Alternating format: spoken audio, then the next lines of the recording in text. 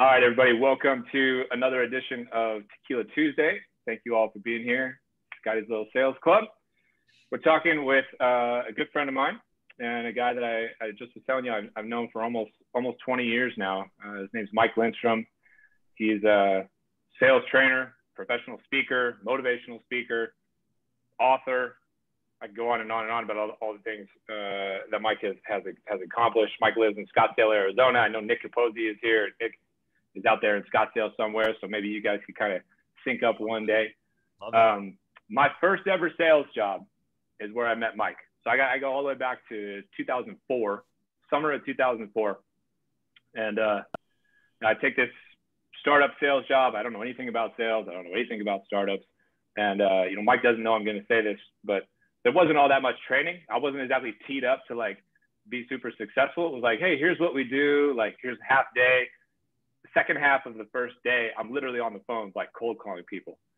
It was like that kind of situation. And, uh, you know, I don't remember at what point in time Mike came into the picture, but Mike was an advisor and consultant for this company. This company is called Reply.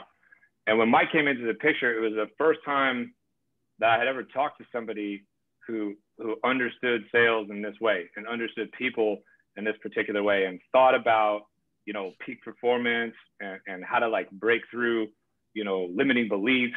And he started talking about all this stuff, and he gave me this book by Tony Robbins. He's telling me that he was one of Tony Robbins' first employees, and I'm just like, what the fuck, right? And my my mind is like blown. And he just like pumps all this life and, and energy into me and some of my buddies. Mike knows these guys like Henry Fraser, Javier Vellante, Rick Clayton, all these kind of people. And uh, you know, we stayed in touch even beyond that that gig of mine. And I, I I kind of told Mike this a couple weeks ago, but Mike has always been like my kind of unofficial mentor. Um, I never really told him that, but you know, when I started doing consulting, I'd reach out to him and say, "Hey, I got this thing, and you know, thinking about charging this." And Mike's over there going, "Jesus Christ, Scott, you got to like triple your prices." You know, he's like pushing me to do all this kind of stuff. I opened a couple offices in Arizona through the years. Mike would come and you know talk to my my sales teams down there. We'd have lunch, grab a drink. Um, just an incredible guy, and I'm really excited for all of you to get to know him a little bit and uh, and talk to him. So, without further ado, I'll let Mike take over as usual. I'm in charge of the chat here. If you got questions for Mike, shoot me a, a private message. I'll take your name down. I'll create a queue going. I'll take you all off mute. You can interact, ask Mike his questions. I'll let Mike do his thing for a little bit, and uh, you know, let's enjoy ourselves. Grab a drink take some notes. Mike is huge on notes, by the way. He once told me this story where, see, he's got his notebook. I told you, and I got mine. Mike once told me this story where he goes to the sales training with Tony Robbins, and he sits down, and this dude next to him has no uh, no notebook, and Tony looks at the guy and says something to the effect of, uh, "Oh, you're not planning on learning anything today, so and so." It's like, boom, never gonna have that happen again, right? Yeah. So, all right, Mike. I'll, I'll, get out of the way. I'll, I'll, I'll shut up here and I'll, I'll, focus on the chat and everybody's uh, questions and uh, leave you to it. That's so funny. Oh man, I oh man, team, I, I don't even know where to start. It's so it's so surreal for me to be um, to be in this format. I mean, and the one thing you'll you'll learn about me because you know Scott's one of my good friends, and you know I, I wouldn't even call him mentee. It's like he's mentored me in so many ways and taught me. More. So Scott, I'd be proud of you. I went on Clubhouse like five times in the last month. Yeah, you'd be pumped. All right. I I'm, I'm, learning. I'm learning. So it's you know it's one of the best parts about the script of of of learning is when your uh, students become your teachers, and that's one of my favorite parts. I'm 48 years old. I got two kids, 12 and nine. They're sixth grade, fourth grade, and you know you, you know you're having a surreal moment. You know, last week when my son, who's 12, who's a he's a big kid.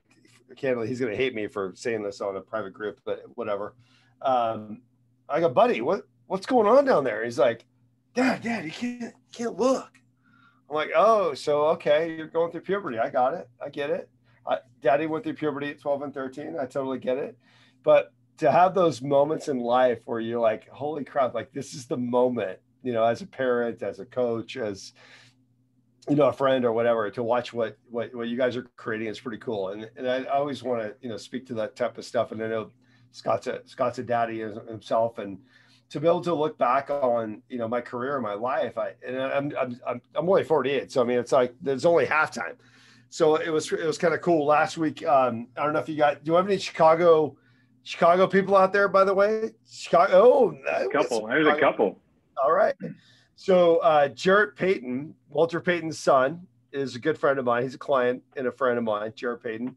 Uh, Jarrett was in town with his wife Trish and their two kids, and their kids are like you know nine and seven or four, nine and four, and we're at Cracker Jax, you know, putt putt golf last week on spring break, and it, it, we haven't seen each other during the whole COVID thing. You know, everyone's got their own reality of what's going on in their life, and I and I told him, I go, buddy, like what are you experiencing? Like you know the kids are you know you're going through illinois experience the state laws or what's going on there but now you're in arizona visiting your sister and hopefully you know the mom they're going to be moving out here in sometime soon but you can't you can't leave chicago. I mean can you imagine being a payton and leaving chicago? I mean you're a cubs bears guy. You're on wgn every night right? You cannot leave chicago. So and that's that's my counsel to him and we were chatting and he goes buddy he goes it goes back to what you and i talked about 11 years ago is my dad, his his dad, uh, 4.5 yards to carry. That's all he worried about. So he's a running back in football. You hand him the ball, he runs 4.5 yards. Guess what? Second and five. Hand him the ball, third and one. Four, you know, 4.5 yards, first down, move the chains. So that's been our metaphor uh, with Jarrett for a long time, my, my buddy. And I think about the move the chains thing a lot when I think about all the things that we've gone through in our lives, you know, the last year, it's like we can't think about a year. We can't think about six months or three months. You know, even my my personal coaching clients, I told them, hey, back in December, don't think about January, February, March, you know, as a quarter. Think of it as a month to month, you know, aspiration. Just let's just get through the months.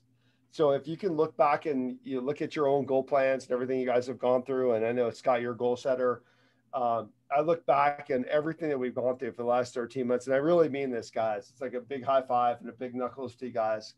Um, it's been challenging, you know, for so many people to be able to look back on their life and what they've gone through. And it, it, I mean, I'm looking around the audience, by the way, I'm looking around just being a little bit assessment. You know, we're pretty young. You know, my my grandfather died at 90, you know, years and years ago. You know, if my grandfather was still alive, I would be doing everything to protect him it wasn't about me, right? It's like you. You guys are protecting yourselves, but you're also protecting other people. So when we think about, you know, our lives and what we want to, you know, create during a crazy, you know, COVID or call it a pandemic or whatever we've we've gone through the last 13 months, but think about your mindset and, and, and the language patterns that we have in our mindset. I always go back to, you know, you go back to Scott, what you put in the uh, descriptor, mindset language patterns or NLP. And by the way, I appreciate some of your comments about what is NLP anyway? Some of you are being totally authentic about that. Um, NLP is actually a science. We'll get that in a minute. But uh, but I just want to say thank you and grateful to be able to have this you know kind of a forum to be able to share very open and authentically. And I hope that you guys get you know one or two things that you can take away. So Scott, you've been that in my life, and to be able to flip that script to you know student to mentor is, is a really important thing to me. So I appreciate that. Yeah. Thank so, you. Yeah, absolutely. So you know, it's so funny. I was I was thinking on a dry race sport, everything I wanted to get into, and it, it, there's a lot, man. There's a lot I want to cover, but I, I want to make make make make make me you can help me kind of hone the message. Like, what would be the feedback that you've got leading up to this? I, I did see the comments on LinkedIn about neurolinguistic programming NLP, but the biggest thing I, I want to give away is the secret sauce because a lot of people don't realize. There, there's actually a science to this stuff. You know, go back to my mentor Tony Robbins back in 1998 the guys who hired me and everything I created back in 99, 2000.coms when you and I met 2003, 2004. But have you got any feedback in terms of things that would be more particular? Because I don't want to go over the map. It's a very, it's a very unique topic. Yeah, I, I would just start with what is it, first of all, okay. and then how, how is it applied to selling and the sales process, both from a, a mindset standpoint and then tactically right? Like what things can we say on the phone? What are we doing throughout the sales process? I would I would kind of maybe start there. Okay, cool. So uh, if you're taking notes, I see some of you are showing me your journals. I appreciate that. Uh, if you're taking notes, write this down.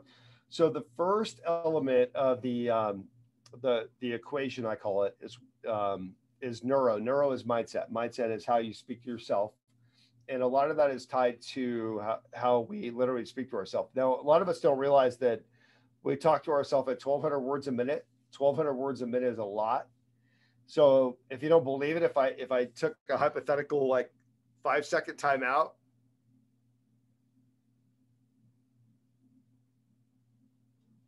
you just heard yourself talk. You're like, okay, what's next? Right? That's how we talk to ourselves. You think about your mindset and how you talk to ourselves. Most of us are not conditioned to wake up every single day and, and feed the brain with positivity. It's just it's, that's just the way it is.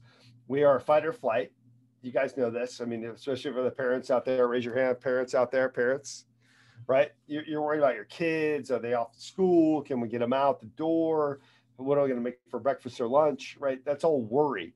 So when you have worry on your mind, 1,200 words a minute, and that's the average, by the way. I figured out through a couple buddies of mine that I average about 1,800 words a minute myself. I talk fast, as you can tell. Uh, some people are very slow in their in their speech to themselves. Some people are very fast in their speech. But most of the patterns that we create for ourselves are, are based off of uh, number one, what our parents told us, uh, behavior, or our genetics, which is just mindset. It, you know, think about think about um, I call it nurture nature. Nurture nature is is a very difficult thing because your parents, whether they like each other or not, whether they're still married or not. My parents are divorced. They got married, divorced when I was two. Got married when I was very young. Um, very rarely talk to each other, but I listened to my mom and dad talk separately, and I could hear the way they speak to about each other's lives, about how it influenced my life. But I didn't know that what that was at two and a half, three and a half, four and a half. So most of our personalities and who we become to be as instincts um, happens by the age of five and a half. So if for the parents out there, by the way, if you have anyone below the age of five and a half and you you're just kind of figuring it out, now it's game time. Game time is to like influence your kids to speak in their minds completely different. Like uh, one of the things that Scott knows this, it drives me crazy when people talk about tries and shoulds and you know I really I really should do that you know, I really try, I should try that. I'm like, try it. Tries are liars, man. Just do it. There's no should, there's a must.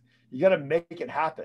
Right. So when you start creating a different kind of language pattern in your mindset, you start to create a different outcome. And a lot of it's that basic things about how we speak to ourselves. And that's not something we're taught. I mean, I went to college at UC San Diego down in La Jolla. I went to law school at Cal Western. And I got to tell you, of all that investment I put in myself in education, no one, not not one single professor who we paid a lot of money to uh, go to school taught me influence, psychology, persuasion, goals. No one taught me that. The only person that taught me that was Tony Robbins. And Tony Robbins, by the way, if you don't know, Google him if you want.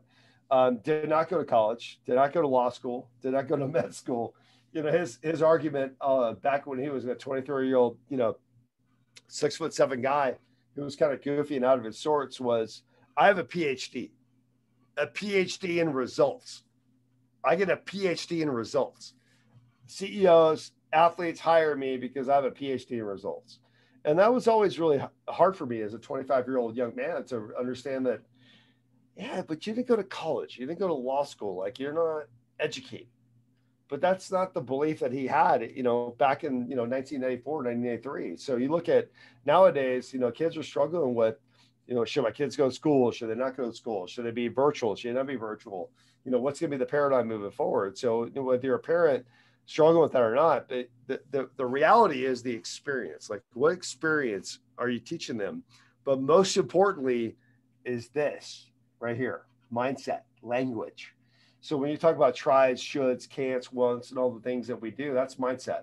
You know, the other part about um, we talk about NLP is patterns. Patterns are the things that you are. So if you look at your given day, so if I took a 24 hour period, and I love, I know I kind of date myself when I say this, but if I put a tape, kind of like the Matrix, right? Like I put a tape in your brain, and I can record your thoughts and your focus and everything you, you do on a daily basis. And I pull the tape or the, or the CD or whatever you want to call it, right? MP3. And I, and I can look at it and I can sit there and I can go, okay, Hey, Patrick, Patrick Downey, I'm going to pull your thoughts for 24 hours, seven days a week. And I'm going to look at what you think about, what you focus on, and what you give energy to every single minute, every single day. And I'm going to put it on a pie graph and I put it up on my dry erase board. And you're going to go like, oh my goodness. Did I know I, I thought about that a lot? Wow. Yeah. But like, that's your thought process. But most people don't do that, guys. That's the problem. We don't think about our thought process and we don't think about where our thoughts and our focus go to. So when you're actually able to, and now Patrick's freaking out. Patrick's, hey, Patrick, I'll take you off mute here in a minute, man. You can tell me where your thoughts go, but you know I'm right, right? You don't consciously think about your thoughts and your process. But when you think about mindset, language, pattern, neuro linguistic programming, neuro is mindset, linguistic is language, self talk, programming is patterns. So when you actually think about where you actually give your patterns to, you have, you have to earn that. Like you, you, you can't give energy to things that are not welcoming in your life. And I think that's the biggest problem that we have. So I want to kind of lay that foundation because I think there's a lot of, um, and Scott, you know this, we've talked about this years ago. I think there's a lot of, and some of your comments alluded to this on LinkedIn. There's this, uh, I would say, mysticism, and I hate that word. You know, there's this mysticism that is with NLP. It's like, oh, this is some kind of a cult. This is some kind of a thought process. This is some kind of a religion. The, the, the truth is, it's not, guys. It's not. This is a very based in therapy and how people think. So, if any of you have gone, you by the way, you don't need to raise your hand when I say this if anyone's ever gone to therapy or counseling, okay, a lot of things that you're being coached on are around that. So when the therapist is asking you, so, uh, so Melissa Meyer, let me ask you a question. How'd that make you feel when you were 14? When that boyfriend or girlfriend didn't, you know, accept you? How'd that make you feel? They put you on the couch, right? That couch moment is you going back in time trying to figure out what you made that mean. And that's one of the biggest challenges that we're we're never taught in college or law school is, or med school or whatever. You know, you're you're educated many levels that I'm not. What does that mean to me? Like, what does that mean to me? The choice is yours. So when you make it mean something that's going to be empowering to you, that's not something that's been gifted to us a long time ago. And that's and it, I mean, Scott, you and I know this. It took me until I was 20 years old to be gifted that. So you know, I had a yeah. mentor hit me right between the eyeballs and said, "Hey, buddy, your your mom and dad divorced when you were two. That's uh, that sucks. That sucks. But so what? Now you're 28. You're still holding on to it. What, what's that going to mean to you? So when you finally realize what's going to mean to you in your professional life and your career as a parent, and the challenge that we have, and we talk about in training, that we tend to we tend to take things between five and 12 years old and, that happen to us as human beings, five and 12, and we hand it to our kids. We hand it to other people. And that and that's not fair. Because my mom said something to me at eight, and that I hold on to so big, I'm gonna hand that to my nine-year-old son Colt. That's not fair to him. Like he didn't he didn't live through that life. He wasn't going through divorce. By the way, him and his mom and his dad are still, you know, the world we're all married. We're all good. But the fact that we have that kind of attachment to the meaning is so important. And I, I would say that's one of the biggest gifts that, you know, if I was going to impart anything to us as a group, is not just the three elements of mindset, language, patterns, but also the meaning that we give things. Because every day when we wake up, we have a choice. Every day we wake up, we have a choice. What's the meaning we're going to give today? Right. Mike, I remember um, from 2004, this quote around the meaning that you talked about and and I never forget it. And it, it always trips me up when I stop and think about it. That nothing in life means anything other than the meaning you give to it, meaning you apply to it. I think was was your quote, something like that, right? that's what that's what kind of what you're talking about right here a little bit. I think, um, yeah. You know, I, you, know, a, you know, real quick, real quick, Scott. Um, you know, I I'm sure. God, this, this is like so therapeutic for me, man. This is like so real. So my mom was visiting me from uh, three hours north of uh, Phoenix, where I live right now, and she came down. She she didn't want to be around the kids during COVID, and you know I respect that. You know she's got her own decisions, and she's older. Um, and she was getting ready to leave the other day, and I said, "Mom, what what's the meaning that you've given this whole thing? It's been 14 months, right? What's the meaning that you've given this?" I'm just curious. I'm not judging you. I'm just curious. Like, what is the meaning you give it? I know what, like, my pop, her dad, who died at 90 years ago. I know what meaning he would have gave it. He was Polish, steel worker, South Side Chicago, old school. F that, dude. We're good. Never miss a day of working his life. Hardworking guy. And I know the meaning that I think he would give something like this, the pandemic. And I'm not disrespecting the pandemic. I get it. I totally get it uh, it's this people need to shake that. And she said, Michael, I'm, I'm really struggling with that because I've not been able to see your kids, my sons, in six months. I said, Mom, that's incorrect. You had the choice for six months to do that, but you chose not to. That's the meaning you gave it. I'm not saying right or left, CNN or Fox. It's not about that. This is a choice you gave it. So she's like, oh, it's so true. It's so true. So I, I've learned so much from the last year, but I want you guys to think about this from your personal life and your professional life about what's this going to mean to you moving forward. That's really taught me a lot. Just even talking to my mom, talking to my kids. I mean, my kids have taught me more about the pandemic. I mean, I hate, I mean, I'm I'm Catholic. I'm very open about that. We go to mass and I get to hear my nine year old talk about in his prayers about what he's praying for. And he talks about, oh gosh, you know, God, I hope there's no more COVID. And I'm like, buddy, think about the things you want. Don't, don't think about the things you don't want. Think about things you want, right?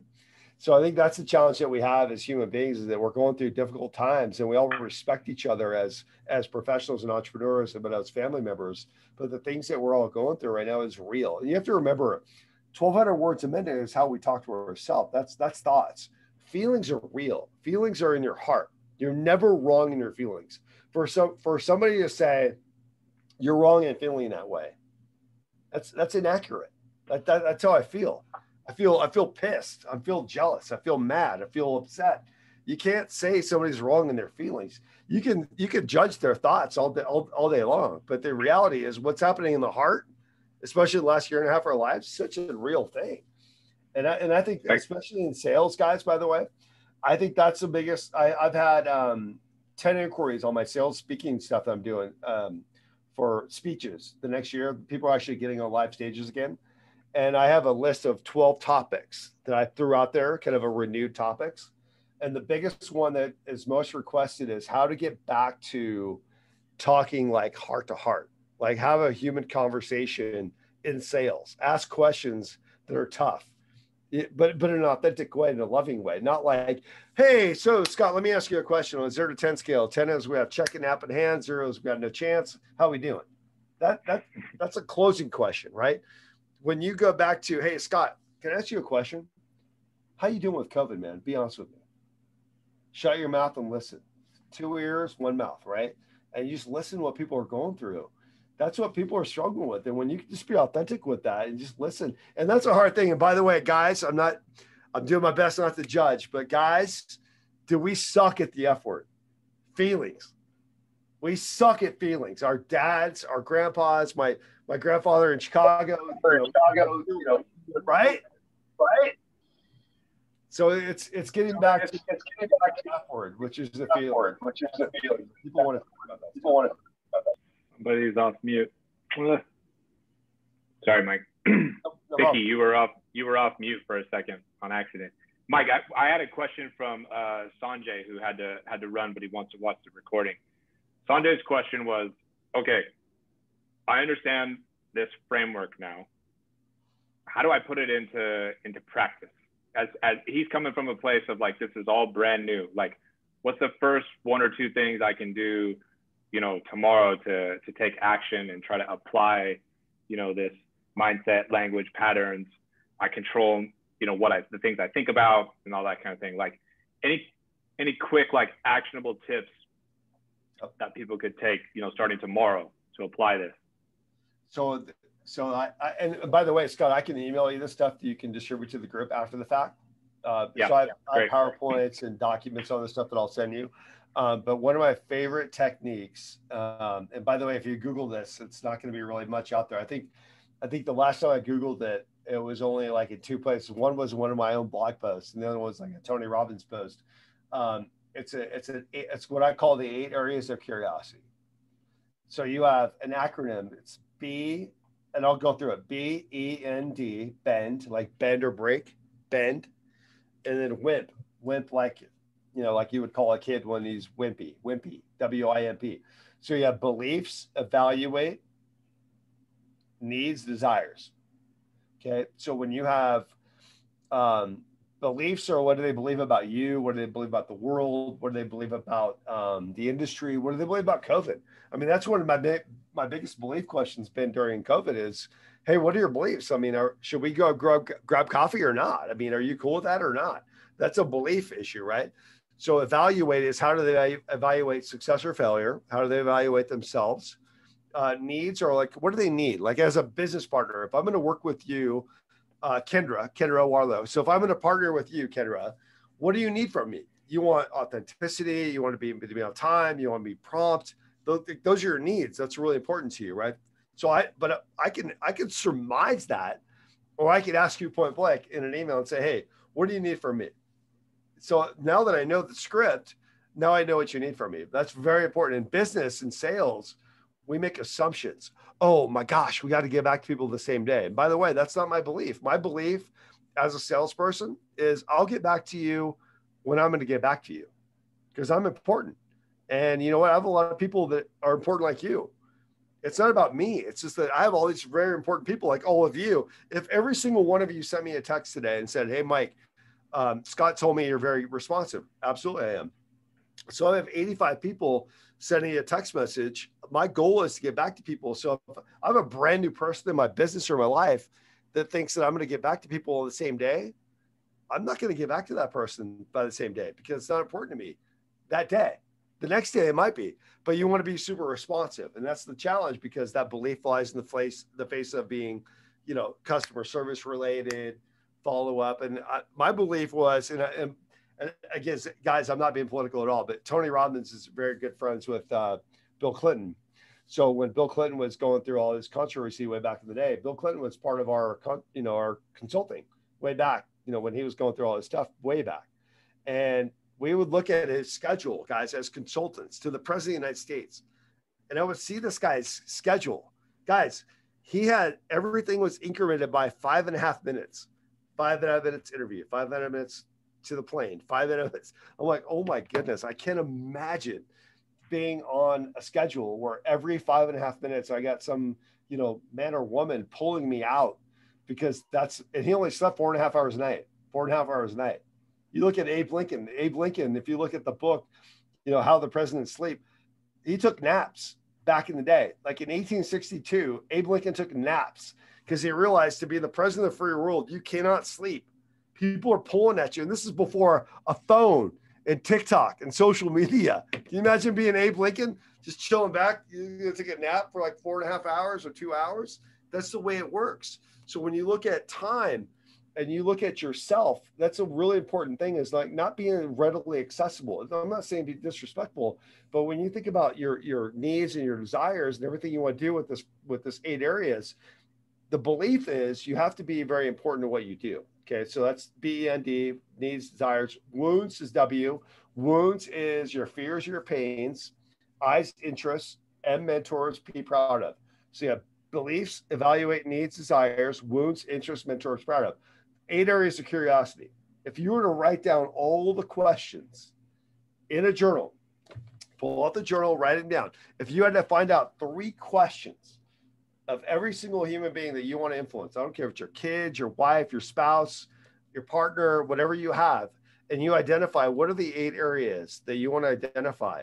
That's the areas that most people don't go to, and that's why we we sold this, you know, in sales seminars back in 1999. I mean, it's kind of defunct. That that sales seminar is no longer in effect with Tony, but that was my favorite part. We did 12 hours of sales seminar that that year, that three year period. I'm sorry, and that was my favorite thing was the bend wimp. You got to know their beliefs, got to know how they evaluate, how they need, how they desire, how they wound, how they interest, how they mentor, how they're proud of. And if you know that, then you know what they're driven by. You don't wake them up at night. I think that's the biggest challenge that we have is that we don't want to be too quote unquote intrusive and you know what? I say bullshit, bullshit. Like people want to talk. They're everyone's favorite yeah. subject is themselves, right, Scott? Yeah, hundred percent. I say that all. I say that all the time. Everyone loves to talk about themselves more than anything else. Hundred percent. Uh, Jeff Croker, you you got the next question. Let me. Uh, you should be able to take yourself off mute, but. Yep. Can you hear me? Okay. You. Yes, sir. We got you, Jeff. All right. So, um, hey, Mike, how you doing? Good, man. Good, good. So I'm I'm a few years older than you, um, but I remember the you know the advent uh, when Tony first came on the scene, and uh, I think I was um, driving in uh, LA with a cassette deck and a big uh, uh, Nightingale-Conant um, pack of uh, cassettes that I was sticking in and listened to to Tony speak on that very first uh, audio program that he put together. And and so you know I've been introduced to NLP over the years, and um, and I really I, I recently just um, kind of reintroduced myself to it again, uh, ironically, um, within the last month, because I want to get my, I really want to get my mind and my arms wrapped around it and execute against it. Because, you know, everything that I've learned, everything that I've heard, everything that I've tried to practice, I, I've never really been super successful at implementation of it. Mm-hmm. So, two questions for you from a practical, tactical standpoint um, first and for, foremost is you know negative self-talk is is is real you know and um, it happens to the best of us and yep. what from a you know a practical practice standpoint what would you say is the most effective way to um, address that and um, and and really overcome it um, you know, I've, I've tried writing on the mirror. I've tried, um, you know, throwing up, uh, you know, uh, positive statements on a whiteboard. Uh, you know, I, I, I listen to um, very, um, a lot of self-improvement books and read a lot of books. And I try, I try, I try, and it, it's still there. It, yeah. it doesn't go away. Um, so that's that's the first thing. And then as a follow-up to that, um, just uh, along the same lines, you know, looking for recommendations for um, those tools, um, either books or um, methods or resources for all of us to learn and implement effective NLP. Yeah. So this is my this is my favorite book right here. So I, I get paid zero to promote this book. In fact, um, I made a goal during COVID that I'm going to actually call Sue Knight because I probably sold her more books than anybody on the planet. Uh, Sue Knight, she's on her third edition. She's from the UK. She's uh, British. She um, here's the thickness of the book, by the way, just so you know, guys. Um, yeah.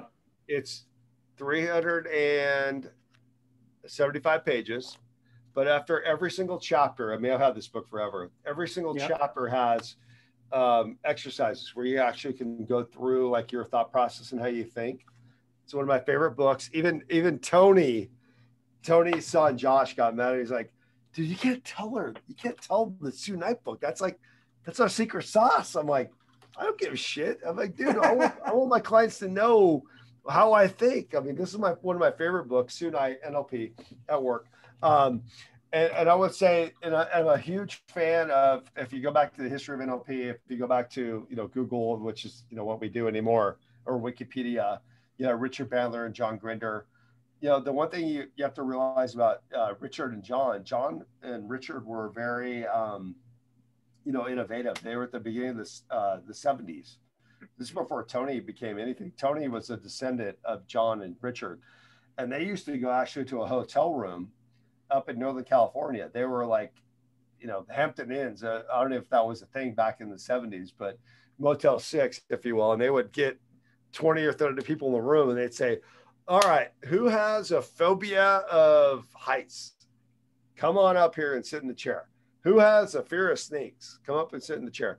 So their whole premise was, that, you know, they, they went back to uh, Carl Jung, they went back to uh, Gestalt therapy, Milton, and they realized that if, if, if someone can do it, we can do it. That's the whole concept of modeling. Modeling is the duplication of success. So if Scott if Scott Leese can make a million bucks a year doing this, why can't I do it? So I could go back and look at his model. His model is when does he wake up? What does he believe? What are the questions he asks? Right. That's the whole premise of NLP. So when they created it, you know, the the, the and by the way, if you guys want to get, and I, I will throw this out there, Scott I will give like a hundred dollar gift card to this whole group. Whoever wants to read it. Okay. It's called Frogs into Princes. Frogs into Princes. It's literally a, a webinar. It was like a seminar at a hotel in 1978 that they recorded, transcribed, and put into a book. I have no idea why the publisher even wrote the book. It's all over the map. So when you read it, it doesn't make sense. But the whole premise, if you understand NLP, is oh, I see what these guys are doing. They're taking real people, put them on stage, recording it, and trying to figure out their model. What do they say to themselves? What do they think when they see a snake? When they see heights? When they go in an elevator? What's their first language pattern in their head? Right. So they're trying to break down the fundamentals of it. So the famous NLP book in our world is Frogs and Princes by John Grinder and Richard Bandler. Um, which, by the way, when you see the cover, it looks like they did an acid when they wrote it. I mean, it's super janky. you know, looks like they, you know, smoked, you know, two big huge joints from uh, Texas or California when they did it. But, but you know what? It's good stuff. I mean, when you look at the the, the technology, it's, it's evolved itself. So that right now there's a lot of master classes on this stuff, guys. If you really want to take it to that next level, but I'm I'm kind of old school. I like to read the book, kind of go through it. Um, but I would say that's a, where I would start. You know, is is, is come, have, have a book and a journal and start to come up with your own patterns. Like what triggers you? What's your thoughts? What's your you know what what what's your your fears? It, it goes back to the fundamental things right? Mindset language patterns. So when you understand your mindset it starts to trigger your language which is how you talk to yourself and your patterns are simply behavior. Behavior is how you show up. And that's a real easy to identify. If i if i followed you around pull that tape i talked about if i followed scott for a week i'd be able to say okay he wakes up at five he makes the kids breakfast at seven. He goes on a Zoom at eight. Like I can see his patterns. Those are all behaviors. So if I could pull the tape on what his behaviors are, I can start to surmise or deduce why he's getting certain results or not in his life, why he's not crushing in business, or why he's not getting time for himself, why he's not hitting the journal and writing books for himself. Because you know, I know Scott's a very creative guy, and mm-hmm. I'm surprised he's not a best-selling author by now by his fifth book. Props, bro. Props. Lazy laziness. not true. Not true. Uh, all right, we got a question from Ryan Walker. Thanks for your question, Jeff. Ryan, are you there? I'm here. What's going on, Scott? Hi, buddy. Hey, Mike. How are you? Good, bro. All right, live from uh, Chicago. So I appreciate the the shout out, man. Jared Payton, man, my boy. That's it. I'm right next to Walter Payton High School. Um, so and you, you were sort of getting at the uh, the answer to this i feel like in, in what you were just talking through but uh, this is my first time being um, exposed to this, this concept uh, at all. And i'm just interested to see if you have any thoughts around nuances to how you approach this um, applying this really to yourself versus uh, and i really think that much like a lot of people probably in this room as a salesperson um, how you apply this as potentially an individual contributor in a sales environment versus being in a managerial or leadership position? Um, and it's a relatively nebulous question, but just wanted to get your take on that. So the way I think you have to remember the uh, the concept. You know, one of my not Tony or Dan, my my senior mentors when I was back in the day, um, taught me. He's my third mentor. I called Scott. It's not Scott. You. You're you're my mentor in a different way, Scott. Please. Um, he told me there's a human doing and a human being. Okay. So the human is the skin bag that we live in. The human being is the part that we live out every day. Who are you being every day? If you look at the word be, be, human being, be, be careful. I mean, all, all, if you can Google it, you can see what the word be means. A human being is your manifestation of what you want your character to be, right? So when you think about who are you being on a daily basis, that I don't care if it's management, sales, leadership, you know, or or, or um, uh, being a parent. I mean, it doesn't matter. You just fill in the blank. You're Whatever your identity you associate with. But the problem the problem is that we don't we don't take responsibility, Ryan, about our being. Like we're humans, right? Like I, I always it's one of my and Scott knows it's one of my biggest frustrations when I do coaching when someone, well, dude, I, I yeah, I effed up, man. I'm a human. I'm like, yeah, I know you're human, dude, but you're a human being. Like you you beed not well. Like you be you showed up like shit. Like you showed up like shit. Like you got hammered, yeah. acted like an idiot. You you were just being a dum dum like that. Now what were you doing? I understand the human part, but who are you being? Right. So when you go back to the being part and you get you take responsibility for that part. And I think that's the biggest challenge, right? Is that we we know intuitively that we're human we're going to make mistakes, you, me, and everybody, right? But when you're more consciously aware of who you be on a daily basis, which is what my my third mentor Scott told me, is Mike, who are you being right now? Who are you being? I thought, yeah, I've never thought about that. I've never thought about that. Who am I being today? Who am I being? You have to remember, I'm 31 years old, not married, not kids at the time, but at the but at that time in my life, I needed that because I was just being a human. He goes, yeah, that's the problem. He goes, that's he goes, that's 90% of people. 90% of people are just being human. The people that really get it, they're being, right? So when you look at what you're asking, you know, in terms of your question, it's it's it's proclaiming it every day, every week, writing it down, pulling out the journal on a daily, weekly basis, and saying, "Who do I want to be this week? If I'm going to be the best dad." I mean, this is a tough question, guys. I mean, being a, a dad of two sons, you know, my dad was a great father. My dad was my best man at my wedding, by the way, just so you guys know. So my dad was like a really good figure in my life. It wasn't like we had a bad relationship. Um, I wanted to, and I remember the card I wrote my father for my wedding. This 15 years ago. My wedding anniversary was um, March 31st, a couple days ago. I, and I told him, I said, Dad, if I could be half, half of the dad you were for me, for my sons, I'm good. And it, I've never seen my dad cry like ever. Like my dad's a tough guy, right? And I remember thinking, wow, that really created emotion in him. But I realized after the fact is that I don't express that enough. So I, I'm not being sharing. I'm not being emotional. I'm not being caring. I'm not being loving towards my father or grateful for my father. So that's what I try to reverse with my kids. And I love it the fact that you know Rhett and Colt are, are emotional or they get that those kind of moments in their life because I didn't have those moments in my life, you know. So when you think about sales leadership, your identity, you have to look at who you're being. But but but here's the thing, Ryan, you have to proclaim this stuff. You got to pull up the pen and write this stuff down and go, who am I going to be this month as an entrepreneur? I'm going to be loving, caring, honest, authentic, whatever you come up with. And that's what most people don't do. They don't, they don't want, I mean, uh, like I said, making fun of guys, you know, we're, we suck at the F word feelings, but to be able to like pull up off your wall, like your mission statement, which I'm looking at, that was the hardest thing for me to write 12 years ago. I'm, a, I'm curious, I'm authentic, I'm compassionate. So when I'm reading this stuff, I'm like, oh, it's so cheesy. This is so cheesy. But then I thought, you know, it's not. It's that's who I want to be right? And that's the hardest part about being a human being. To help, appreciate that. Help at all? Yeah, very much so. Thanks so much, man. Appreciate it. Yeah, no problem.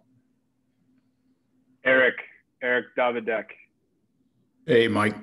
Um, first off, I got to tell you, I am like world class with the F word. So just, just, uh, just, just to let you know. You cry a lot. You cry a lot. Uh, yeah. Yes, he, yes, he does. We've all, we all know he does. Yeah, yeah, everybody's so, seen it. Wait, wait, wait, wait. Hold on a second. So, Eric, when's the last time you cried? What time is it? 550. 550 in Arizona. and what time is it? Best answer ever, Eric. I am so proud of you. Hey, you can oh argue with that, man. I love it. That's legit. He's so raw. Oh my gosh, I love Fucking it. Fucking love that. that was awesome. Uh, so, Michael, I'm going to piggyback. I'll, I'll, try to get through this without crying, but I'm going to piggyback on Jeff's question. And um, that self talk thing has been, uh, um, you know, it's, it's something that I've been aware of my whole life, of course, but becoming hyper aware of it and actually making taking actions on it has probably been the most impactful thing that's happened in my life and definitely the, the lesson of 2020 for me. Um, but my question is, are there any concrete techniques? Um, you know things when you you know when i catch myself having these conversations that go go the wrong way what what can i do? Yep. So great question. Um god there's so that, that's that's a lot. Um so what i i learned this from uh my mentor Tony used to talk about pattern interrupts. Pattern interrupts are things that are literally blatant and overt. So if you feel like you're you're you're feeling stress, you have to do the opposite of stress. So the opposite of stress is run around. And it sounds kind of goofy and kind of Tony Robbins-ish, but you run around smiling, go woo woo, I feel great. You know, and I'm like, eh, that's not my deal, Tony. I'm not really a guy that's gonna run around in the parking lot talking about woo woo. I feel great. That's just not my deal. right? I mean, we, we used to do the uh, UPW was the firewalk seminar back in the day, we used to try to get people's uh, state of mind around their fear. So I didn't realize that 72% of people are, are afraid of fire, uh, suffocation, and tall buildings like falling out of the sky, kind of like what we experienced during 2011. God bless, you know, what we saw people doing on the television set, but I, that's a real thing. So that's a human instinctive response based off of nurture nature or whatever. So when you think about yourself, you got to look at it and say, okay, what's the trigger? And then how do I reframe it is what I call it. Reframe it it doesn't have to be like, you know, woohoo. It has to be something you tell yourself. So what I do, this this is a personal thing. So I try to use uh try, I mean, I do it. I, I don't do it 100%, but I use my phone. So in the morning when I wake up, I do a 10 minute snooze and I'm not a sleeper in guy. I wake up at five. It snoozes for 10 minutes. I hit the snooze button. But during the 10 minutes, I go into my meditation while I'm still sleeping or, or waking up, coming to. And I talk to myself. Today's going to be a great day. I'm going to be the best version of myself. God, give me the grant power to be the best version of myself for other people. Talk through me, da da da. Right. I do the same thing around 12 30 and 1 o'clock in the afternoon. And I do it at night when I go to bed. And I, um, by the way, Scott, you and I haven't talked about this. I'm a big fan, uh, not to be promoting here, but I love the Calm app. The Calm app is awesome. Like there's a gal on the Calm app. It's got the British accent. She's like my, I'll pull her up. She's amazing. I can listen to piano apps, whatever. But while I'm going to bed at night, I think about my meditation. So three times a day, I go through morning, night, or morning, afternoon, night, but just to kind of reframe my brain and that's not something most people do, by the way. I, I did some research. Three times, three times a day. You said three times a day, Mike. Morning, no, morning, afternoon, night. Wow. Yeah, but it's only for eight minutes. It's only about eight minutes tops each one. I mean, the evening's very easy though. The evening's top, You know, you're falling asleep, you're laying in bed, you're waking up, but I only hit the, the snooze button for 10 minutes. The, the hardest one's the middle of the day.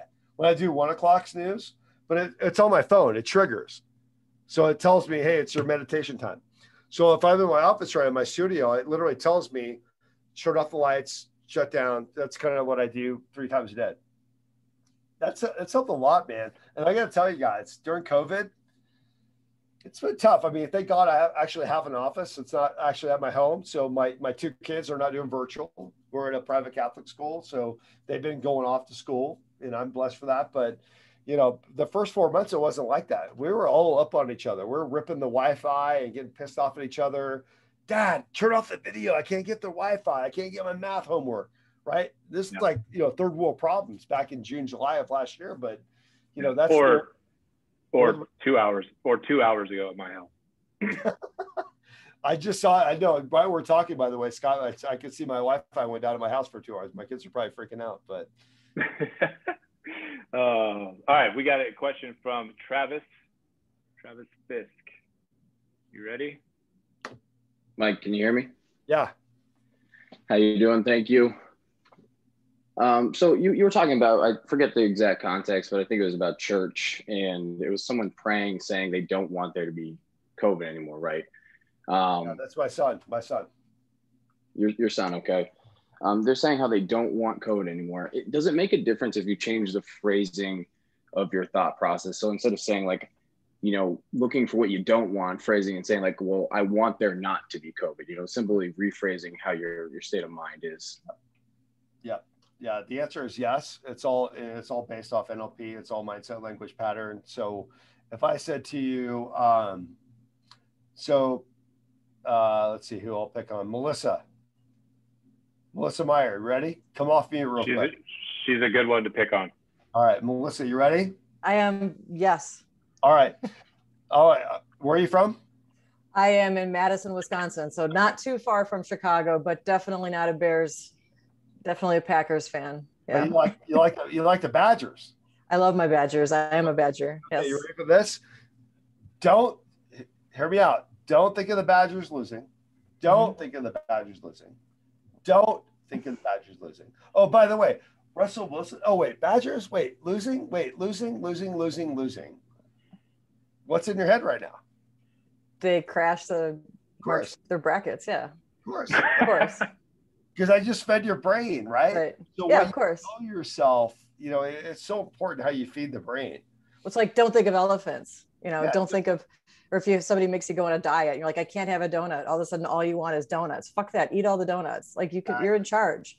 You are in charge. And but you know what? By the way, if there's anybody out there on this whole group that's trying to lose weight, here's my here's my recommendation. I'm not a, like a lose weight guy for like a. as a- Oh, Chris, burn. No, Sorry. but you know, my favorite is the Rock. The I Rock. love The Rock. You know what the Rock tells you? The Rock will tell you, eat whatever the f you want for six days. Okay, keep track, measure it, so you have a little bit of a deficit. Okay, a little bit. But on the seventh day, whatever you, it could be Friday, Saturday, Sunday, whatever you want, eat whatever the f you want. If you look at his blog, he eats like ten thousand calories on Saturday. This guy's insane. I mean, he's a big guy. Don't get me wrong, but it's the mindset, right? As long as you're tracking something, you're focusing on what you want. And that's the part about language patterns that we tend to feed ourselves what we don't want because we're so worried about. And guys, this is classic fight or flight. Fight or flight says survive, protect, survive, protect. But when you get into, I mean, who wakes up there every morning and goes, "Oh my gosh, I'm so abundant. I feel so great today. Today's amazing." Like Nobody over nobody over 40 says that. I don't wake up that way. The first thing I think about is, oh crap, I gotta, I gotta feed the kids, get them off to school. Rhett and, Ar- Rhett and Cole are gonna argue for a half hour. They're, I gotta get him, get his shoes on at nine. I mean, I'm already going through the mental program in my brain, right? That's just it's reality. So you can't just flip the script and just assume it's all like Pollyanna. You just have to like get it inside your mindset. To your question is, where do those negative language patterns show up? Most of the language patterns show up around the gym, workout, goal setting, money. Money is the big one. People are like, oh, I need to, I need to get rid of debt, get rid of debt, get rid of debt. Guess what? You're getting focused on debt. Why don't you say abundance? Abundance. I'm going to go out and make ten thousand dollars this month. I'm going to make ten thousand dollars this month. I'm going to make twenty grand this month. You don't focus on debt. So when you focus on debt, you give more energy to the debt, and that's part about language pattern. It's so important to, to reframe. By the way, Scott, you know this. It's easier said than done. You cannot. It's not. You got to practice, guys. It's it's such Yeah, a such a language pattern shift in the brain. Um, Yeah. You gotta you gotta get to a place where you you gotta get to a place where you catch yourself doing the wrong right. thing. That's Where right. you notice it. You're like, oh fuck. And Yep. then you and then you redo it. That Which was a, what- that was a big like milestone for me is was starting to catch myself doing the Yeah, that's thing. what uh, Scott and I call it. We call it real time. When you catch yourself in real time, you got to catch yourself in real time. Like it could be around anything, relationships, could be about you know your confidence. Could be a good example, but you have to reframe it like quickly in your mindset. So when you feel it come on, you got to reframe it. It's such an important thing. Yeah. All right, we got Johnny. Johnny, you ready? Johnny B. I Johnny hope B? so.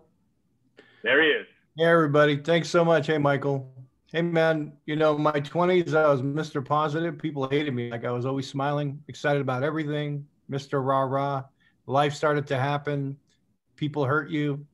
You develop this real bad dark side, man. And um, I was successful using it for motivation. And I realized, you know, my mid 30s in sales, what I started to do was just always be distracted.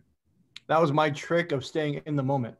So I'd have an audible book on, or I'd always have some music on, something to keep me in the moment. That was my trick. And then I started, I watched Michael Jordan's Hall of Fame speech. And I realized there was a way I could actually harness this dark side to be incredibly productive. And I wanted to get some of your feedback on how to do that, what your experience has been, and what advice you have for the group on mastering that dark side. Thank you. Great question. Yep. I love that So- question. So, so uh, Scott, don't take him off mute real quick. So, Johnny, let me ask you a question. What do you think about Michael Jordan's speech? You know, I want everyone to watch it because he used uh, the guy who beat him out in high school to introduce him. Uh, the guy dug really deep. He always found a way to motivate himself. The first time I watched it, I was disgusted by him. You know, I, he was one of my heroes. I said, dude, that's so disappointing that you used anger to motivate you like that. You know, you could you could be a better role model to people. But I think once I lived through a few things, I started to understand where he was coming from. I'm not gonna cry. Yep. But but I'll tell you what, man, I get it now. I do. So I so I was in uh, Tucson at my mom's house back when whatever year you could Google it, I remember whatever year it was, 12 years ago when I saw it live. And, and by the way, just so you guys know, I don't mind sharing this, Scott. Hopefully you don't get too mad at me here. See that on the wall? Oh, What is that? Is that a Bulls jersey? yeah. Michael Jordan jersey from from way back. He's one of my heroes back in the day, and I keep that on my wall in my office as a reminder to me to be humble. Um, not because I'm proud, because I, I was not proud of him when he gave that speech. I was really appalled, to be honest with you. I was I was embarrassed. I was appalled. Um, you know, thank God there wasn't social media back when he did that, because I would have been on Twitter like blowing him up uh, about how embarrassing it was to have uh, the greatest, the GOAT, the GOAT, greatest of all time basketball player go on national media in front of 8 million people and, and personally invite every single person since junior high school that told him he couldn't do it to remind them how he did do it. Like that's not how I was raised. I was raised to be a champion, be a but the by the way, just so you know, Johnny, my favorite speech Hall of Fame basketball is Dennis Rodman by Yeah. far. By far. I cried my face out watching Dennis Rodman because you know why? Grandmother raised him, mom wasn't there, dad wasn't there, super grateful, heartfelt, like no airs about it. Like he was just bubbling of, of authenticity, right? And you see Jordan get up there and go, Hey, let's go back to uh, when I was in high school and I got cut from the varsity team. I'm like, what in the hell is going on here? Right. But you know what I realized? And this is one of my rules in coaching, guys. Don't judge, be curious. Don't judge, be curious. The guy had a life of anger and he had a life of being told he couldn't do it. And he's he's a fear-based guy. So when you're a fierce competitor like Michael Jordan is, you don't want to lose. It's I don't want to lose. There's a big difference between I don't want to lose and I want to win. Right? You look at Kobe Bryant. Kobe Bryant wanted to win. Okay. He didn't want to lose. He, he was very fierce but his mindset was different. But, it's what you said. It's the mindset of what's going to control you, what's going to manipulate your mindset around pain and pleasure. So some people are driven that way, some people are not. But, so you look at pain and pleasure, and you look at you know your own life, and the fact that you're able to like articulate what you just said is so important because a lot of people can't articulate that. Some people just don't want to lose.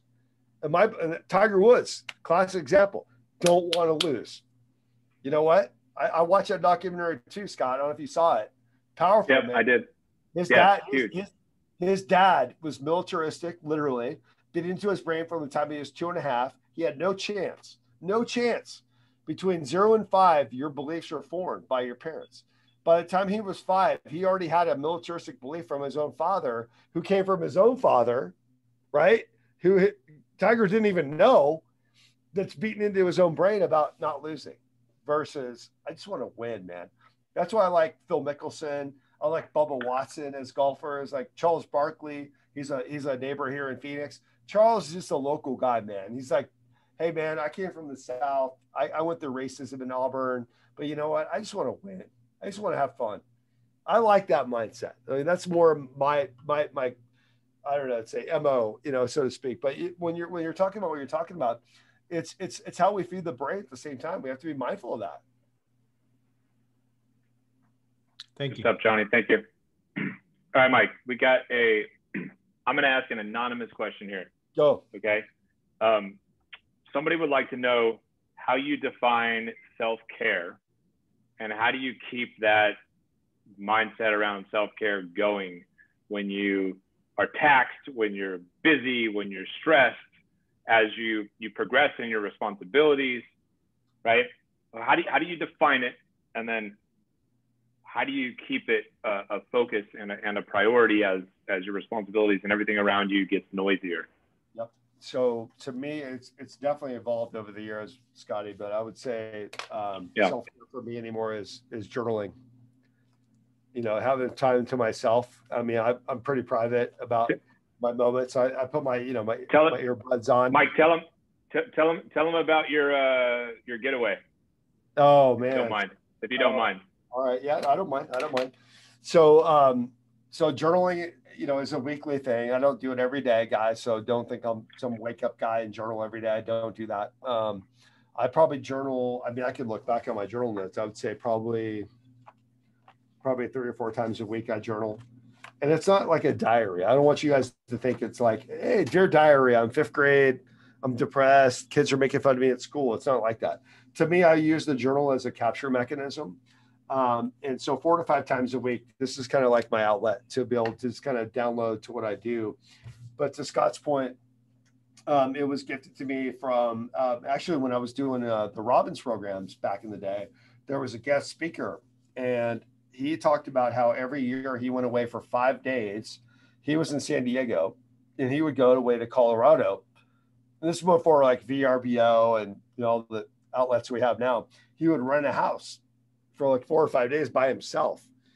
And this guy's married. I'm single, no kids at the time. I'm listening to this guy. I'm like, wow, his wife and his kids like let him go away for five days by himself in Colorado just to be by himself. So I thought that was intriguing to me. And then uh, after the event, I went up and I asked him, I go, hey, buddy, what's your process? Like, what's your, tell me how it works. Cause I, I don't even know how to even do that. Like, if I'm going to go away by myself, I'm going to want to like get a massage or go on a run or watch sports on TV or drink a beer or whatever. I, give me a format. So he told me his format and I followed it. So that first year uh, I started doing it, I went up into uh, Northern California. Do any, do any NorCal people up in here? NorCal? You know I am. Yeah, I know. Johnny, where are you at? San Francisco, but we left in the RV six months ago in our camper van. So that's why I'm in a different place every time I see Gotcha. you. Okay, cool. So we went to um, so the place I went to by myself was called Spirit Rock, and you guys can Google this. This is up in Marin County. So you, you drive across the Golden Gate Bridge. It's up there. It's like a three day Friday, Saturday, Sunday, and all they do is it's kind of cryptic. It's kind of like cultish. They send you this email. It says, by the way, when you check in, don't look at anybody in the eyes. Don't talk to anybody uh, mind your business and don't bitch and moan basically. Like whatever is going to be thrown at you just accept it. So i'm like oh my gosh this is going to be so crazy. So i went and checked in and um, i got thank goodness i got a roommate or a, a room by myself. Because it warns you in the uh, the terms and conditions you might have a roommate. By the way male or female. Can you imagine like in this day and age checking into a random place in a dorm and all of a sudden Melissa is like my roommate. I'm like in a single bed, right? I mean, Melissa, you're you're cool. You seem cool, but you're like looking at me, right? You're looking at She me has, like she has shared stories previously on Tequila Tuesday. I She's mean, very cool. I mean, you, don't, you you don't want that. So um, we get this full agenda. So I went for three full days, Friday, Saturday, Sunday, and a lot of obviously a lot of journaling, a lot of writing, and a lot of meditations and meditation walks and prayer. And, and it's not even religious, guys. If you pull it up, Spirit Rock is the Spirit Rock Meditation Center. But I had never gone. I realized at that point in my life, I had never gone three full days without talking, literally talking, in my whole life. I mean, you can imagine a two-year-old. I mean, from the time I was one, two years old, I'm yeah, just you know, screaming and yelling. But to go, you know, as a 30, whatever I was, 32 years old at the time, whatever, to go up to Spirit Rock and just have that private time myself. But what I realized, guys, was the was the journal time, was having this and the private time, and that's what I've been. That's been my solace uh, to your question, is to just steal off time. I mean, COVID's been difficult. Arizona's been obviously a little bit more opened up than Arizona. I know Scott, you're in Texas, you're more opened up like Florida, but um, you know, I've had some friends in certain parts of the states where they just can't even go into the Starbucks and you know put the earbuds in and just sit for an hour and just journal by themselves. I totally get it. So whatever you decide to do with yourself by yourself, you know, you start downloading your thoughts, and when you see it, you know, it's what that's what I say. I'm a big fan of what's written is real. You know, when you write something down and you see it and you come back to it, there's such a power in. It's like I always call it the power of the pen. You know, once it leaves my brain, comes through the pen and it hits the journal, uh, like it's out. It's out. It's in. It's in. It's in the journal. I mean, it's it's what I feel. It's what I think. And I think that's what the challenge that I think a lot of us have is that we don't have that mechanism um, enough to be able to have that outlet just to be able to just get real with ourselves. I call it true up. When you true up with yourself, um, it's no bullshit, no bullshit. Like you got to be honest with yourself. Are you, are you the, are you the right version of yourself that you want to be? Are you the right weight that you want to, you step on the scale. If the scale says you're 10 pounds overweight, you're 10 pounds overweight, but we don't have that emotionally, right? To to say, Mike, you're not congruent with yourself. There's no scale emotionally that says, dude, you're 12 pounds not overweight with yourself emotionally right? So that's what that's what the journal does, I think, for me. All right, we got David Libby. You there, David? I'm there. All right. Hey, thanks a lot, Scott. Appreciate this. Yeah, this buddy. is really, really awesome. And uh, hey, thanks, Michael, for showing up and for uh, sharing. That's this is just. I've been taking a lot of notes. Thank you, buddy. Appreciate that. Thank you. Yeah.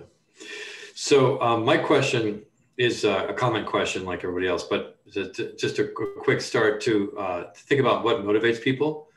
I often think fear does. You know, I've been helping manage a bunch of BDRs for the last couple of years, and when I hear them, they talk about what's not happening. They talk about how they haven't met their goals, or they talk about how this hasn't happened. That it's exhausting. And I, I you know, I, I'm in there and I'm positive and I try and stay motivated, but I'm wondering, you know, if we're not motivated by fear, what are we motivated by? What can we tell ourselves, even to the younger people? You know, I'm 50. Even to the younger people in this in this Zoom, it's like, Yep. what what can what can we say to these folks and, and or say to ourselves to keep us motivated? I mean, I mean, I'm sure it's not going to happen every moment, every day, but there's got to be some sort of narrative, right? Yep. And if it's the MLT and NLP at workbook, I already bought it. But if you want to just kind of go in on that and give us some feedback, that'd be great. Thank you. Yeah. So uh, my wife's uh, brother, he's 25. He just turned 25 last year. Graduated ASU. Go Scott. Tempe represent. Devils. Yep. That's right. Um, There's a couple other Sun Devils on this. uh, all right, all right, all right, all right. We got to got to represent. Uh, so he was over for Easter, and um, you know he's going through a life transition with his job and this that, and the other. And he and he grew up, if you will, you know, I'm putting my finger quotes, you know, underneath me because I've known him since he was a baby. Um, and he he knows how I think, and he'll, he'll he's a very sharp guy. He's he's smarter than me in every way, shape, and form. And I mean that like SAT smart, LSAT smart. Like he's a he's a sharp guy. So he he was he kind of you know downloading to me like a buddy. You know what's going on, right? And he's like, I know, I know what you're gonna tell me. It's purpose and why. Purpose and why. He goes, I knew you were gonna say that. I'm like, why are you asking me? You already know how I teach and think. He goes, "Y- y- your pain is strong. You need to pay rent. You got to pay the bills. You got a new girlfriend. She's, you know, she's a very nice gal, but you know, she, you got dates. You got to go. You got to go pay for the dates. It's a real thing, right? He's not had a girlfriend in the last three years, so that's a real. That's a reality of his life. So when we started talking about it more authentically at that level, um, we started to get to the purpose and why question.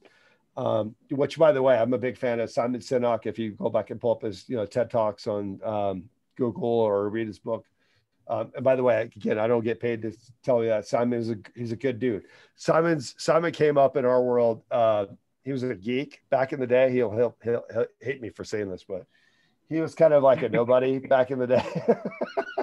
so we didn't give him the time of the day back in the Tony Robbins days. We always had like uh, Larry King and like Wayne Gretzky and uh, Muhammad Ali, all the motivational people. And this young kid, Simon Sinek, was like, dude, you guys got to get somebody up here that talks about purpose and why. I'm a professor. I know this stuff. I'm like, yeah, but you're a geek. You're kind of a tool. I mean, let's be real, man. You're kind of a tool.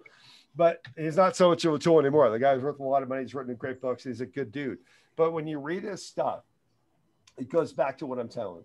You either have pain motivation, which is the fear motive, you know, the fear factor, or you go back to purpose and why. When you're emotionally associated to purpose and why, like on a daily basis, and that's why I ask my CEOs all the time, what keeps you up at night? What keeps you up at night? It's my favorite question. And I had a CEO tell me last week, he said, you know what keeps you up at night? Payroll. I go, Bob, how does payroll keep you up at night? He goes, buddy, that's my reality. Like I have 42 employees. These are lives. These are humans. These are people that are on my job, my team. And if, if I can't make payroll, that's on me. And I, and I, being a solo entrepreneur and my wife, I don't think about that. I think about, you know what, I'll just go out there and hustle tomorrow. I'll get another deal, get another gig, couple coach, coaching clients or whatever. I don't think about payroll. That doesn't motivate me Yeah. in my brain, right? So when you think about purpose and why, and you have to go back to what's the driving force between what keeps you up at night and what's going to be that driving force for you personally. And what I, what I would recommend to the question is come up with something that's that's tangible. Uh, and I mean this, by the way, tangible. So if you said to yourself, you know what, waking up at five in the morning, going to the gym, and making sure I get eight hours sleep is mandatory for my entrepreneurship. If I don't do that, that means I'm losing money, pain, but it also means I'm making a lot of money, abundance, right? So you have to create that frame of what's the abundance and the payoff of what's going to be the pleasure to your action. And that's where I think a lot of us miss is the pleasure to the action because we get so we get so um, afraid, we get so pain motivated, like oh my, if I don't do this, this is what's going to happen. Well, what's the payoff? That's why getting back to purpose and why it's so important. That's why I'm a big fan of what you know Simon Sinek puts out there. That's great. Thank you. Yeah, thank you. Great question. All right, we got Bree. Oh, you beat me to it, Bree. She's ready to go. okay this has all been amazing and um you know i i've uh listened to a lot of tony's stuff over the years and and i guess my main question is around loss of identity because and how you are getting it back um, and maybe redefining it. Because for myself you know i you know just giving you some bullet points um, without going too deep. You know i now have a grown child who has flown the nest. So even though i'm always going to be a mother it looks different now. You know i don't have that hands-on parenting um, my business i had a huge i had a business for a decade and with things outside of my control that i didn't you know i had no control of the federal trade commission suing the company i built a business through Right. So when I lost over $100,000 a year in income, I had a drastic life change. So like my plan, as much as I love you all, was not to be here. My plan was to be surfing in Costa Rica or learning, you know, Italian in, in Italy. And so now, although I have a great job that I love, I have to find this new identity. And I'm trying to establish this now. Who am I? But yet I have this this unsettled there's this deep part of me that's unsettled and this this question going there has to be something more you know because i know what i don't want i you know Hold on, hold, wait, hold on. What what do you not want? What what what don't you want? well i've been there done that having a child so even though you know i'm not going to start a family over again at 41 so you know as i am reestablishing myself in a career now i've you know i may do the entrepreneurship thing again in a different way but you know i'm i'm trying to figure out what does what does my identity look like now Sure. So we you said you have a job, job. Is that is that true? Like, is it just something you, you're just doing because it makes money for you, or is it like something you like to do? i enjoy it it's a it's a new job for me but i enjoy it Yeah. yeah So Scott and I, I'm not sure if Scott shared this with you guys, but um, we have an acronym. JOB means just over broke. Yep, I've heard that. I was in multi, I was in multi-level marketing for years. I used that for years. Yeah. So, but you said job. You said it. That's a language pattern. That's NLP. Yeah. That's a language pattern that you said. So when you said it out loud to all of us, you said that to yourself 10,000 times. Yes. So is it really a job or is it something you like to do? it is something that I like to do, but if I'm going to be honest, I don't see myself working for anybody for the rest of my life. Okay. So, so what do you want? I don't know. That's the problem. By the way, if, if- Scott, you're recording this, right? I sure am. Yeah. So go back and replay this video. Watch how she looked left and look how she looked right with my two different questions. That's classic NLP. She's trying to recall things in her mind and she's trying to create things in her other part of her mind. And that's not a judgment, Bree, by the way. I appreciate you being authentic. That's just the way the brain works. So you have to do is get clear in your head about looking straight in the face, looking right at that lens and telling me, Mike, here's what's up. But you're looking left and you're looking right. That's a metaphor we use in NLP. When you look left and right in your head, that means you don't really know. And that's fine. That's that's most people. Yeah. Most people are, are looking left and right, trying to figure out, do I recall, do I remember, or do I make up? So when you create that look forward and say, this is what I fucking want. This is my passion, right? This isn't forgive my language, but you get my point, right? When Yeah. you get that passionate about it and you know exactly where you are in your mindset, that's where things start to shift. So I think the biggest thing is you journaling. I mean, go back to the journal point of write down a full page. If I ask you, where do you see yourself in 12 months? So if I call you and let's go, I'll, I'll, I'll even give you another quarter, 4th of July of 2022. I'm going to call you on the phone, Bree, and go, so where you at? Where you at? You've already stated for where you're at now, and you're going to go and work towards it in the next 13 months. You already know entrepreneur. You already know entrepreneur. It's not a job. You know that. It's, it's you getting. It's so it- funny to. It's so Uh, funny to me to, to. It's so funny, Mike, to to hear her talk to me. I'm like, what do you mean you don't want? I've literally just heard you say what you want a couple Hundred times. Hundred percent. Every Melissa's nodding her head like That's why. hear it. And Scott, that's why you have to show play back the recording and send it to her. Yeah. And show her her eyeballs when I ask her the Yeah. questions. You already know the Minute answer. minute minute minute ninety five. Yeah. Boom. Boom. I love it. And by the way, Bree and anybody else out there, if you guys want to reach out to me at the end, uh, I, I really mean this. It's not a pitch. You guys call me, text me, email me, whatever. I'll give you my cell phone at the end. Um, I, Scott's a very important person in my life. You know, not just with coaching and the person he's been is is authenticity. But I I I know his group is very important. That's why I was, I, and, and I've not been. I don't get nervous for stuff like this ever. I don't. But there was like a part of me an hour ago, and he's like, "Dude, chill, man. We're good. We're Yeah. good." I'm like, "No, man. I want to make sure I'm game on. I want to make sure I got the link right because I want to Well, honor." part of part of that is my fault because and these people know that like I just wing so many things. I'm just like, yeah, it's gonna be fine. Don't worry about it. Like I forget people need some structure and organization sometimes. But That's just Yeah. how I am with with, with, with these kind of things. I you know I take it that seriously, but you know his his No, I- was, uh, what'd you say, bro? You said, uh, I, said. I said all, uh, all all good, no stress. That's what I wrote. oh yeah, no, he stress. said he said all good, all no stress. I'm like, that's not how Yeah. I think, man. That's not how I think. Yeah.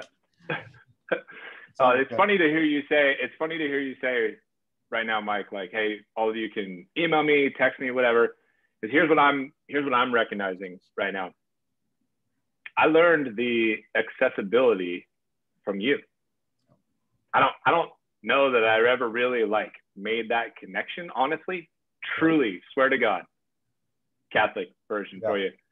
I don't know if I ever really made the connection until tonight, where I'm like, oh shit, that's where I learned this because I'm like, text me, email me, message me. You know how many fucking DMs on LinkedIn I replied to today? Totally. Two, 234 I believe it. from yesterday. I believe it. I counted 234 people who shared stories of trauma and mistreatment through their sales career. I replied to every single one of them. And I'm listening to you right now with this group of people that you don't know at all. And you're like, text me, you know, message me, whatever. I'm like, yeah, Mike was my model for accessibility and openness. So I just want to thank you. Thank you for that. Uh, absolutely. Um, no, we got to, we got, And that's one thing, real quick. I want to, I want to tell, I want to, I want to explain that real quick because I know Tony Robbins is not exactly a super accessible guy. He's, you know, pretty big guy. Uh, so the guy that hired me is named Dan Lear. Scott, you know that Dan Lear Yeah, is my Dan, mentor, and yeah. Dan's in Vegas. He was the, he was Tony's right hand guy. I just saw him last week. He's doing great. He had a very rare blood disease, amyloidosis, that he's been struggling for the last three years. And you know, Dan is the the struggle I had working for Tony is Tony's six foot seven, Dan's six eight, uh, Chuck was six five. All the guys were six four and above, and I'm I'm only six foot, right? Barely. And I'm like the short guy in the group, and I'm like, guys, can I like step on a stool or something? You guys make me look like such a chump. But I remember during that whole time frame hanging out with these guys on the road when I was living in LA, Chicago, New York, the way that they thought was so so abundant. And I and I always thought, you know, I hope Tony, you know, just remains abundant. And he very much is. Like if I text him right now, he texts me back, but I, I don't bother him. You know, the guy's worth five hundred million dollars a year, owns an island in Fiji, he's doing great. But Dan Lear taught me, his right hand guy who I just saw last week. He's like, dude, you're not that important, ever. You are not that important, ever. And I learned that in '98. So I said, you know what? I'm going to keep this damn 619 cell phone. I came from San Diego. and I'm never changing it. Um, everyone's going to know it's going to be on my website. It's going to be my LinkedIn. So if you want to call me, text me. I'm always going to be the guy that's going to respond to you. I'm not going to have some person doing my DMs or my social because I I'm Mike. I mean, I'm, I'm very real about my stuff. So any one of you, I challenge you, text me. I'll give you my number at the end. Text me, call me. I mean that. You know, Scott, you've been a very important part of my life, but I mean, what you're doing with the, with the crew here is so important because this is what I call one percenter thinking, guys. One percenter thinking is taking the time to do something that's different. And by the way, I'm looking at all the squares. No one's dropped off. Like I don't know what your stickiness rate is, bro, but this is crazy. Like everyone's still here. yeah, and, and it's like 9:30 on the East Coast where some of these people it. are. So yeah. So thank you so right, much. We got we got a we got a good question from Melissa Meyer, who's been picked on a little bit by us. So it's right. time for her to punch punch back. I grew oh. up between two brothers. I can take it. Um, really, I really can. you have no idea. Um, so we've got a lot of talk. When I'm not crushing quota, I teach yoga. And I've this year during COVID, I've been diving a lot into like yamas and niyamas and the yoga philosophy and you know all of that kind of stuff, which which just flows really nicely into the the NLP stuff and meditation yep. and all of that. Love and it. one thing that I found, um, and I have a close I have a family member who does this. It drives me nuts. Is he'll say something bad is happening. Like my dad's got Alzheimer's. Like bad things happen, right? Bad things happen all the time to all of us. Right. And he'll tell my mom, just be happy. Just be happy. Like just yeah. decide you're going to have a happy day. And what my mom really needs is like to process those feelings and just unload and like vent on somebody. And that's okay. Like it's okay to do that. So can you like just briefly address um, I call it toxic positivity. Some yep. people call it there's false harmony is a different thing. Um, yoga, we call it spiritual bypassing. Yep. Where like I can sit in a pose and act like I'm super chill, but it can be an absolute disaster, you know, inside. So I'll so, go back on mute now. Oh man, I can't believe I'm telling this story right now. Um, by the way, I've seen the documentary, so I'm very aware of what this gentleman I'm about to tell you about is going through legally. Was uh, I was a Bikram yoga guy back in San Diego, okay, back in 2001, 2002. So I'm not saying I was a fan of him or who he was or his, you know, his guruism. I, I, am a very big fan of his 26 postures and 90 minutes of my meditation in my head, you know, going through that 108 degree temperature back in San Diego. And one of the gals who was the um, very similar to you, uh, Melissa, was like his mentees. That, by the way, was not in the documentary. She wasn't involved in the whole controversy or whatever. I'm still friends with her. She always said that you know he, he had his dark side, you know, Bikram did, and but the, the but he was very passionate about the postures and what it meant to him. And I remember this is when my um, oh man, I can't believe I'm telling it. Scott, dude, you're killing me right now. You're killing me. Um, hey, I know. We get, I know, we get real. We get real. Know, we get real. I, am getting real. I'm getting real. Uh, so my aunt, uh, she died of breast cancer. She was 42. So I was in my early 30s at the time, and I was very close with her. And I remember being in a, a certain posture, it was posture 14. Um, and I was I was young guy, you know, pretty nimble guy. And I remember the young gal who was the the mentee of Bikram came over to me and she got in my face in the studio at like the 70 minute mark. She goes, Your pain, your suffering, your posture is a metaphor for your life. Think about what you what's in your head right now that's what's going on in your life. And I'm like, oh my God, this is deep, man. I'm, I'm, I'm trying to like do my postures, right? And I remember walking out of there. I was so hot, you know, it's like 108 degrees. And I never forgot that because it, it, it tied emotionally to me that that's just a metaphor. I mean, it's just a yoga class, just a yoga class, right? But you're going through that moment and you have this teacher that's feeling your pain in some way. And that's that's life. Like when you can channel what you do, you know, for a living, or you channel that emotion, and you make it mean. It goes back to what you and I, what, uh, Scott, and you and I talked about meanings. What does it mean to you to go through pain, struggle, or whatever? And you can channel in a different way. So she would always remind me after she saw the the literal pain on my face going through this posture. She would say, oh, God, I can't remember this quote. Channel the pain channel the pain, channel the pain. So her way of saying, like, take the negativity and pain that's going through your knee and your hip into something that's positive to me was, which was gratitude in my aunt, who was in my mind heaven, right? She had already moved on to a different life. So every time I would go into that posture, and if I if my office was a little bit more cleaned out right now, I'd show you the posture. Um, and I hate that posture to this day, but it still reminds me of my aunt because it reminds me of channeling the pain of what that posture is into something that was positive. So here, so here's my answer. I always ask myself when I'm in that situation, what's great about this? What's great about it? My nine-year-old son, he's he tends to be more on the negative side when he he, he sees something or hears something. Um, first question I ask him, I say, "Hey, Coleman, let me ask you a question. What's great about it?" He's like, "What's great about it? What do you mean, Dad? What's great about it?" I mean, Dad, we we just lost we lost our bet and the we were in some stupid pool at the NCAA tournament last night. So we lost, you know, 400 bucks and we only took third place and won 100 bucks. Whatever. We're watching March Madness. Who cares? It's all fun, right? So he's all mad. And I said, buddy, what's great about it? And his brain is literally tied to the fact that we didn't win. I go, buddy, daddy took third. We're good. We got a 100 bucks. It's all good. I'll put it in your bank account tomorrow. But that's that's most people that's most kids that's most human beings so mean, you can take that pain or that negative thing that you do and i'm only telling you that story melissa because you know being in yoga you, you appreciate that you know when you're in that posture and it sucks and you're like oh my goodness what is going on here but you can channel that in such a positive way but the question you have to ask yourself is what's great about it yeah i can i mean to be clear not that i'm that you know a genius guru but um you know all of life is suffering desire is the seed of all suffering and joy is our birthright. Like i believe those things. Yeah. and and to focus on the lessons not the suffering. You know ask yourself when something hard is happening what what do i need to learn? Like what is this teaching me? Right?